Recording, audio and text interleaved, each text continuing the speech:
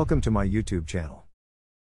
The primary purpose of this vlog is to inform, educate, and entertain viewers and subscribers.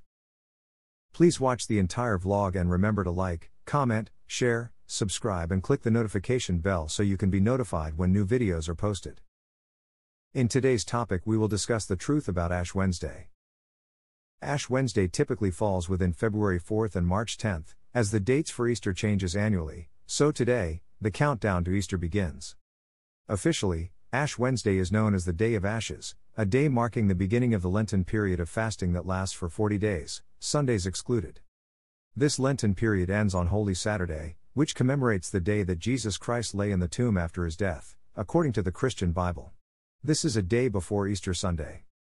It is also known as Easter Eve, Easter Even, Black Saturday, or as simple as the Saturday before Easter. There's always been one constant, however, Ash Wednesday marks the beginning of the season, signaling the 46 day countdown to the period of commemoration for the festival and holiday of Jesus from the dead. Synonymous with bun and cheese, kite flying, gusty winds, palm leaves, foreheads bearing the sign of the cross in ash, and a time of worship and sacrifice through fasting, the season hereafter is recognized as the most sacred of religious holidays. Here are some other facts you may have missed over the years. You can get ashes without going to church. Traditions have morphed into socially acceptable norms as many try to undo the strict principles of our forefathers. With this comes the breakdown of religious ideals that instructed the practices of the faith. You don't need to be the leader of a church to apply ashes. Nowadays, many priests and pastors administer ashes in public spaces such as parks, parking lots, terminuses, and community centers. In the Middle Ages, ashes were sprinkled over the head instead of more recent times where it's placed on the forehead in the shape of a cross. Some keep the ashes on their head for the remainder of the day as a reminder and a signal to others that the wearer is a sinner and requires God's forgiveness. Ash Wednesday service with the entire family is a must.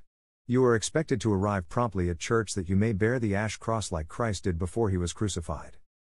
During this service, the priest or minister may rub the sign of the cross on their foreheads using ashes, which represents mourning and repentance, and a symbol of commitment. Most times, the ashes are gathered from the burning of palms from Palm Sundays prior. Genesis 3 verse 19 reads For you are dust, and to dust you shall return, qualifies the biblical significance of Ash Wednesday. In many instances, when clergymen mark one's forehead with ash, they recite the scripture as a reminder to be humble in the face of morality. Ash Wednesday celebrations and the history of the holy day dates back over 1,000 years and only gained mainstream popularity with Christians in the 1970s. You may be surprised to learn that not all Christians observe Ash Wednesday. Christian sects that recognize the holy day include the Lutherans, Methodists, Episcopalians, Presbyterians, and some Baptists.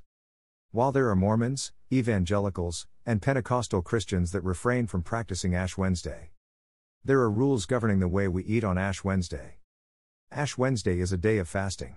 So, to observe effectively, on Fridays during Lent, Christians are expected to abstain from eating meat they'd usually eat. And, since receiving ashes isn't a sacrament, the rules aren't as strict as with other practices. Story credited to Loop News. Shalom. Please remember to like, comment, share, subscribe, and click the notification bell so you can be notified when new videos are posted. May the divine grace of Almighty God be upon you and your family. Remember, to love your neighbor as you would love yourself. It is a divine requirement attainable through kindness. Spread the love. Thank you.